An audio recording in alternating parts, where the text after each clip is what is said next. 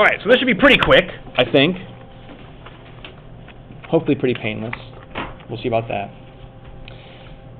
So we just mentioned that we came up with one formula for the law of cosines, okay, which is this guy right here, okay? The equation you wrote in step D is the law of cosines, or one, one version of the law of cosines, all right? Which is usually written as a squared equals b squared plus c squared minus 2bc cosine a.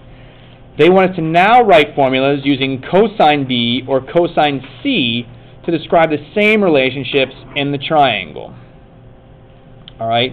So this actually, does anyone have any idea what they think might be? So this is using cosine A. This is how the formula kind of works out. Does anyone want to take a guess about how like it would work out if we use cosine B here instead? How else would the rest of this formula change? Can anyone maybe see what it would be or have an idea? You want to take a minute and look at it real quick, you can kind of figure it out just by, I mean, you can kind of like mm, logic it out a little bit or guess it out a little bit. So Hunter, you want to stat, take a stab at it? So instead of cosine of A, if I have cosine B here, what's my letter going to be right here? It'll be B squared, and then what will these two be? A squared plus C squared, and then minus 2 A.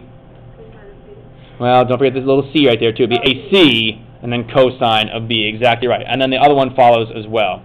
So the variations are basically like cosine of whatever the angle is. Okay, so if it's cosine of b, that means it's b squared equals the other two sides minus twice the other two sides times cosine of b.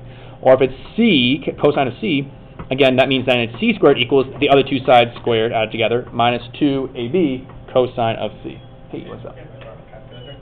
Uh, yes. There you go. You're welcome. Okay. So there it is. All right. So those are your two other formulations. So how the heck are we supposed to use these? These are just ridiculous, right? And actually, does anyone see another familiar formula hidden within this law of cosines? Yeah, Maria, the Pythagorean theorem. Exactly right. Okay, in fact, we can see it right here, very obviously, right? C squared equals A squared plus B squared. So you can see that this formula, remember this formula, does it require that our triangle is a right triangle? No, this you can use on any triangle. But you can see that, so basically it's like, it's kind of like a version of the Pythagorean theorem that's slightly corrected for triangles that are not right triangles. So it's like the Pythagorean theorem, but with a correction factor for non-right triangles, okay? So yeah. Okay, cool. Let's then flip the page here, and you can see those formulas kind of written out for us. okay, and a non-right triangle shown there.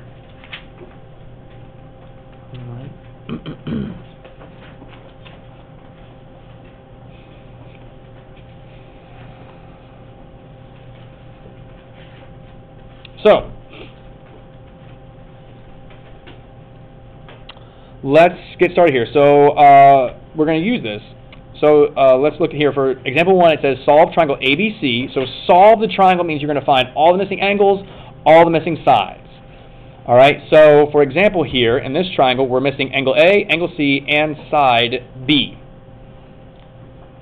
All right. So since we're given the angle B, that is the law of cosines version that we're going to use. Okay, we're going to use the second one here, the one that starts with b squared equals a squared plus b squared. We're going to use that one because we've got this angle B right here. And so our setup will be, so again, we're going to use the b squared equals a squared plus c squared minus 2ac cosine of angle B. Okay? And so we're going to plug in. So little b, that's what we're solving for. So we're going to have b squared equals, okay, a is what in this case? Anybody? What's little a? Yeah, it's going to be the 7, okay, right? Little a is always opposite the angle a there, so it's going to be 7 squared plus, and then c is going to be the other side, 5, minus 2 times 7 times 5 times the cosine of angle b, which is 100 degrees. Okay. And then we go to our calculators, which I just gave away. Whoopsies. So um, anyway, you go to your calculator. You type that mess in. Okay, b squared equals 7 squared plus 5 squared minus 2 times 7 times 5 cosine 100 degrees.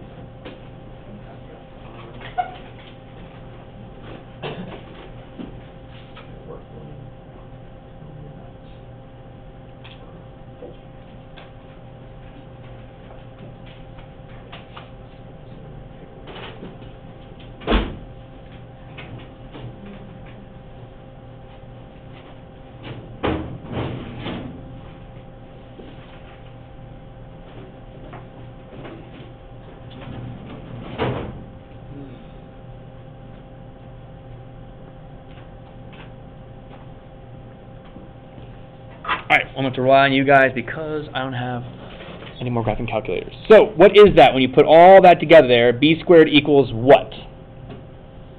Anyone got it? Adam, what'd you get? 86.2? Okay, and then, last step here, what do we have to do, Adam? Yeah, square root both sides. And when we do that, we get b is about what? Nine point three. Nine point three. Okay. So there you go. Now that we have b equals 9.3,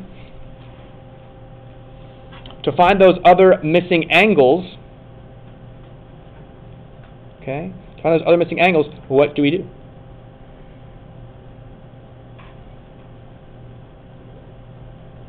What can we use now? Now I have an angle and opposite side combination. So do I have to use law of cosines to find angle C or angle A? No. Okay, what can I now use? Yeah, we can use, well, SOHCAHTOA, we can't use SOHCAHTOA because we don't have a right triangle. But what's another tool that we have to solve triangles besides law of cosines? Yeah, we can use law of sines now, exactly right. We have an angle and opposite side combination, so now we can say, okay, sine of 100 over 9.3, sine of 100 degrees, sorry, over 9.3 is equal to, and it doesn't matter which one you pick here, let's, uh, let's do angle A. So we'll say sine of A over 7.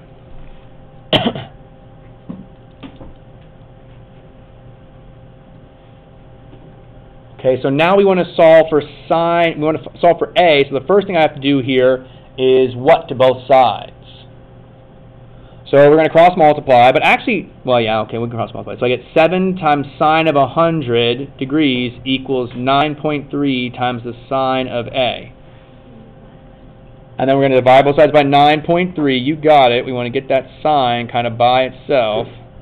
And so I end up with sine of A, I'm running out of space here too. Sine of A equals 7 times sine of 100 over 9.3. And then what are we supposed to do here to get that A by itself? Yeah, sine inverse, exactly right. So that means we're going to do the sine inverse of this whole mess here. 7 sine of 100 all over 9.3. Okay? So the sine, uh, sorry, I kind of ran out of space there. So that's angle A equals that. Alright, so it's sine inverse of 7 times 100. Don't forget to put parentheses on your numerator and divide by your denominator there.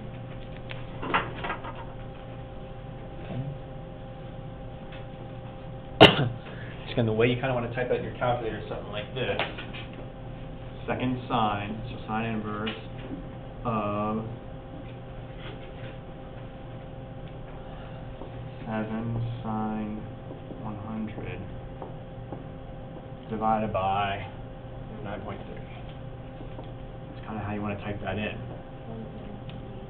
47.8? Is that what else got to? We're good with that? Thumbs up.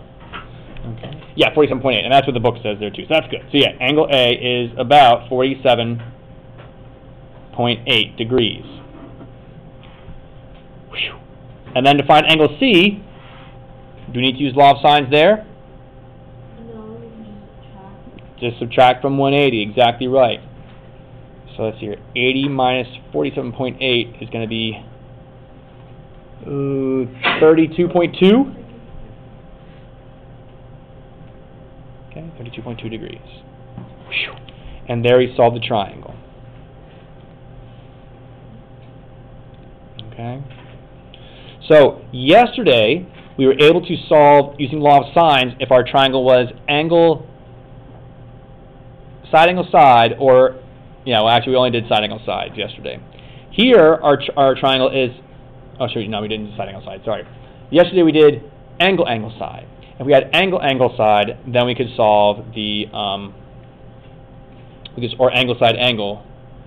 We could solve for um, the missing sides using um, law of sines. So law of sines, we can use that if we had angle side angle or angle angle side.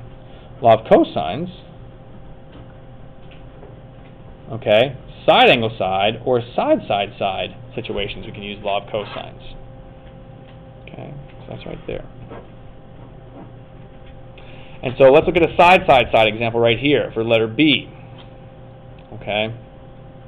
Now, this next piece is important.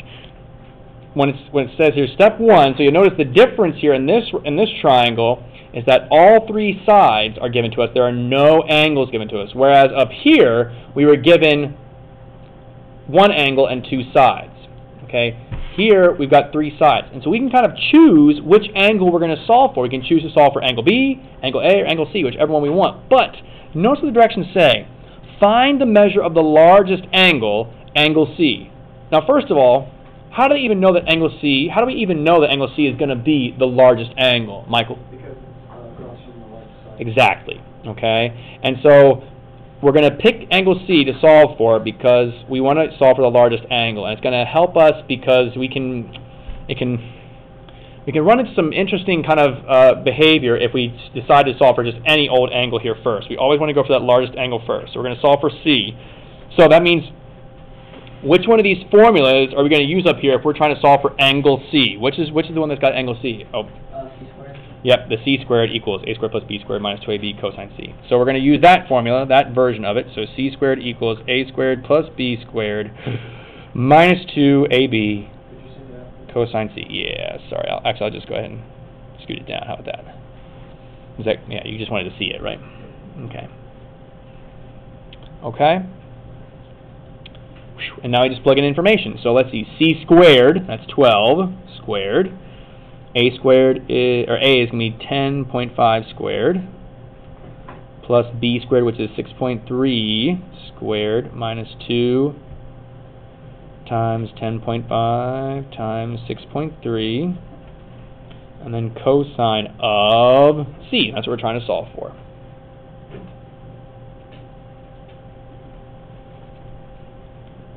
Okay.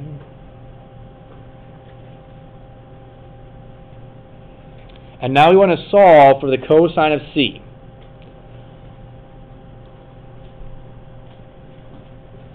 So we simplify this sum. 12 squared is 144. What's um 10.5 squared plus 6.3 squared? Mm, Got that handy. Actually, I guess I have my calculator. Forty-nine point nine four. 149.94. Okay, minus, and then, let's see here. I'll just do it this way. Help me, calculator. Two. Two times ten point five times six point three. Okay, one thirty-two point three cosine of c.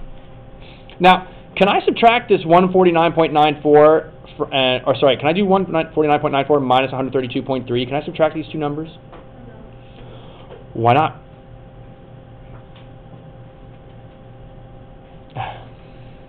You're right, I can't. Yeah, Tanner, why not?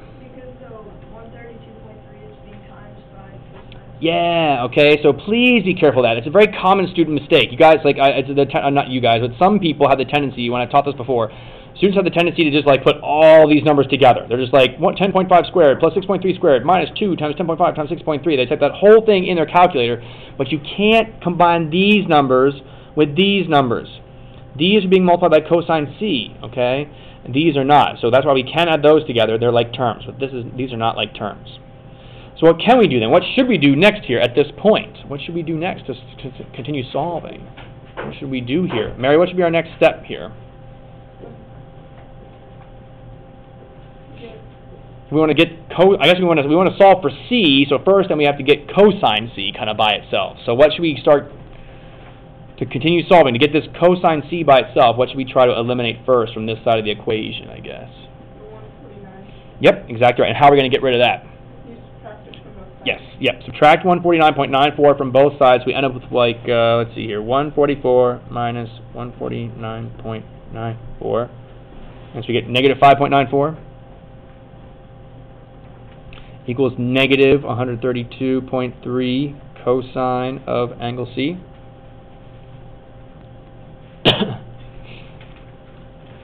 All right. And then what there, Mary? What do we do now?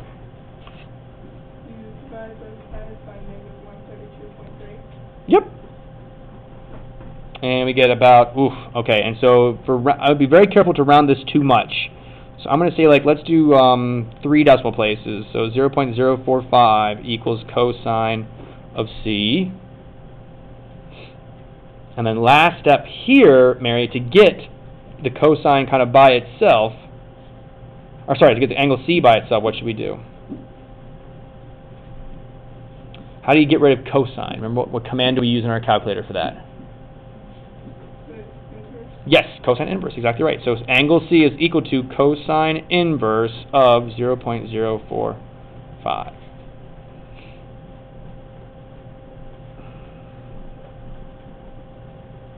Hmm. And that I cannot do in my calculator. So, what would be that value? Did you get? What'd you get? About eighty-seven point 87.4 four. degrees? Sounds good to me. Thank you. Mm-hmm. Okay. So 87.4 degrees is our answer for angle C. Okay, so there it is. Now, we still have to solve for angle A and angle B here. Do we need to use law of cosines to solve for angle A or angle B now, at this point? Yeah, no, what could we use now? Yep, we can go to law of sines now, exactly right. And it doesn't matter which one you solve for, so it's kind of up to you guys to find the other um, angle. So, um, I don't know, let's solve for angle, let's solve for angle B, I guess. So angle B, so let's see here, so that means then, Uh, I'll just do it on this side, I'll s- I'll zoom out some more there. Alright, so why don't you guys go ahead and do that. Find angle B, okay? Find, and angle A then, I guess, at that point too. Because you should be able to get both pretty easily. Once you get angle B, angle A should be easy. But go ahead and solve for angle B.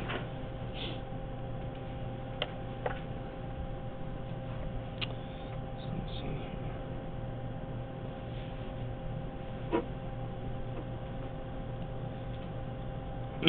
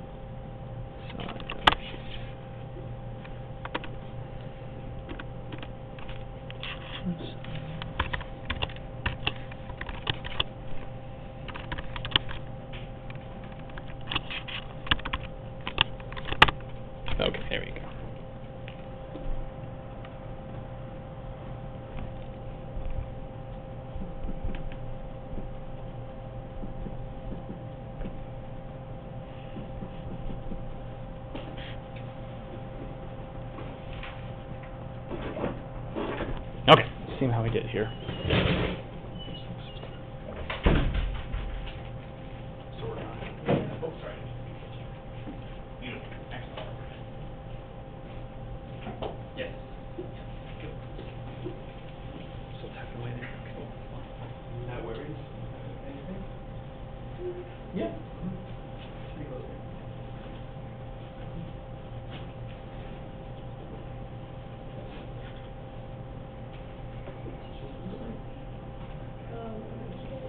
Okay, what's up? Can I get like the same numbers? I think.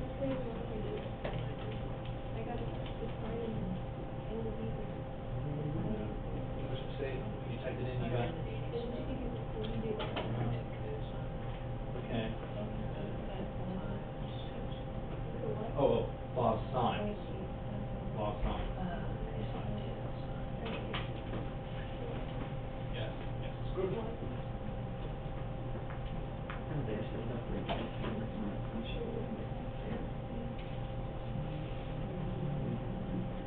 Okay, so that's right. And that's right. When you sine inverse, so do this and then you sine inverse of this value. And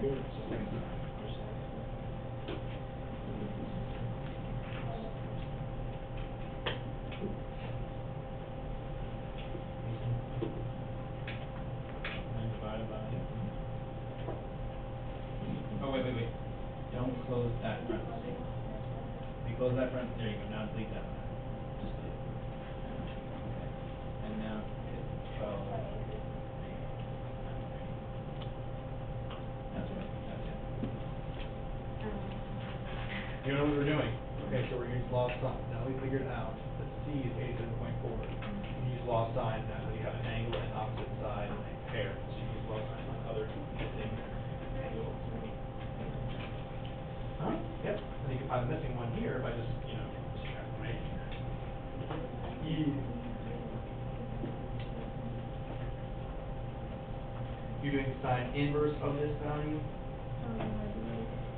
Yeah, so, so you can find that value, though, it definitely do sine inverse of that value, because when you get sine, you get the b by itself there. Okay? So, got it okay, Adam? Okay, cool, yeah. Very good, yeah? You're not getting an answer, or what's the trouble? Oh, yeah, yeah, you can't Divide by twelve somewhere? Right there.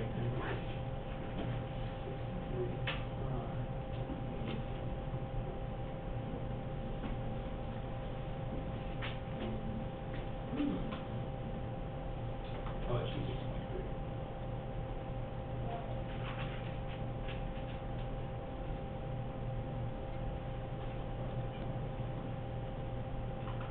There you go. Yeah, yeah, yeah, yeah, it should be six point three, yeah. Is that okay? All right, where am I looking? Oh, right there, I see them in there, okay, yep, yep, yep. Too. Okay, cool. Nicely done. Hmm. Okay, so ideally, we got something like that. Okay, so there's the setup there, sine of eighty-seven point four over twelve equals sine of b over six point three. You only need to multiply really the six point three over. You can cross multiply and solve, that's fine. And you get sine of b equals six point three, sine of eighty-seven point four all over twelve. You have to do sine inverse then of this whole mess. So sine inverse of six point three, sine of eighty-seven point four all over twelve. I got thirty-one point six and then sixty-one degrees, okay? Um, it depends on if you rounded this value some first. So if, if you like found this value and then rounded it and then did sine inverse of that, your answer will be slightly off from mine. And then your, of course your A then will be slightly off as well. But they should be relatively close then. Okay. B should be about thirty-one point six.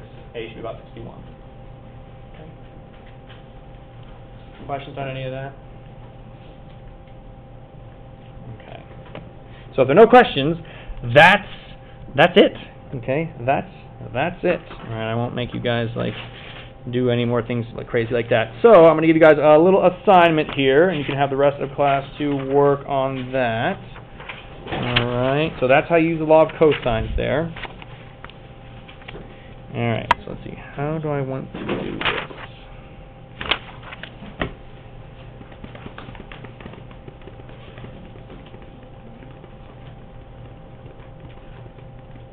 All right, so we're going to start on page 761. All right,